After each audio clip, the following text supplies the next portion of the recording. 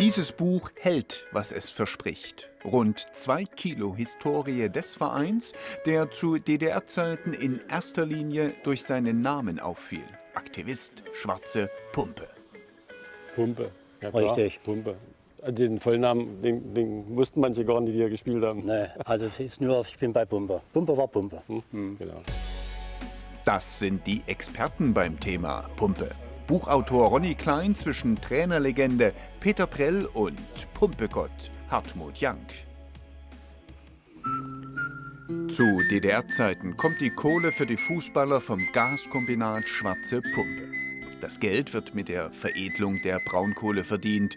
Die Mehrzahl der 15.000 Beschäftigten wohnt in Hoyerswerda. Aus der einstigen Kleinstadt war eine Plattenbaumetropole geworden. Die Einwohnerzahl hatte sich verzehnfacht. Am Wochenende geht Groß und Klein zum Fußball, zu den Spielen der BSG Aktivist. Die haben ja geschlagen, ja. Da haben wir noch 8.500 Zuschauer hier beim Punktspiel. Mhm.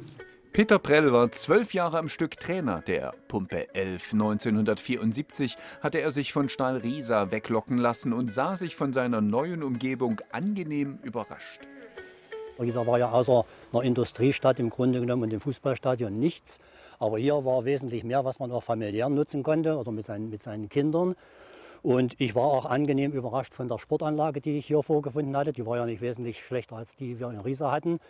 Und deswegen hat mir das eigentlich von Anfang an zugesagt. 1984 offiziell 10.000 erleben im Jahnstadion den Pokal Krimi gegen den 1. FC Magdeburg mit Auswahlstürmer Achim Streich.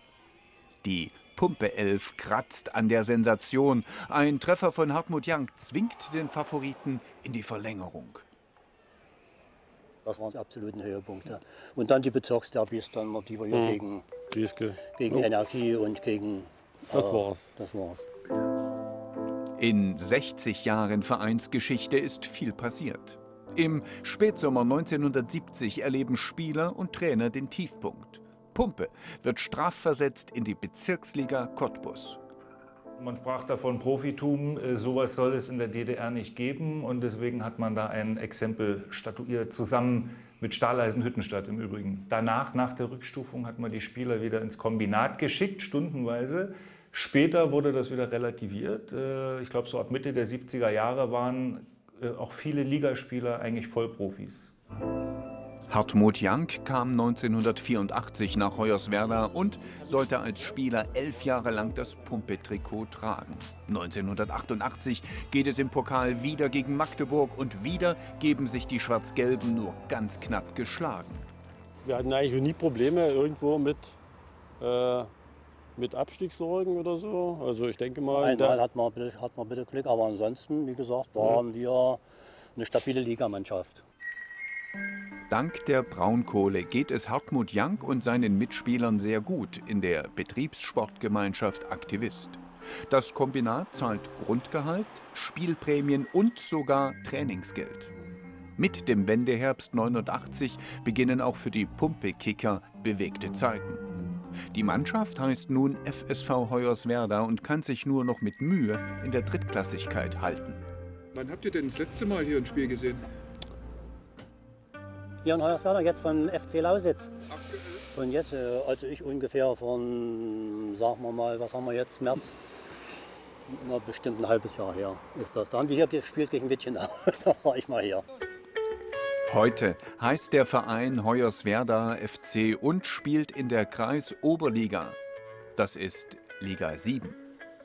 Statt gegen Cottbus oder Brieske geht es jetzt, wie gehört, gegen Wittichenau oder Edelweiß-Rammenau oder Knaschwitz-Doberschau. Den ganz guten Fußball von früher, den kriegt man hier nicht mehr zu sehen. Da müsste schon irgendein Scheich kommen, der hier mit Geld um sich schmeißt. Ein Ölscheich im ehemaligen Energiebezirk. Schon eine ziemlich schräge Vorstellung. Aber die Pumpe-Historie hält man hier in Ehren.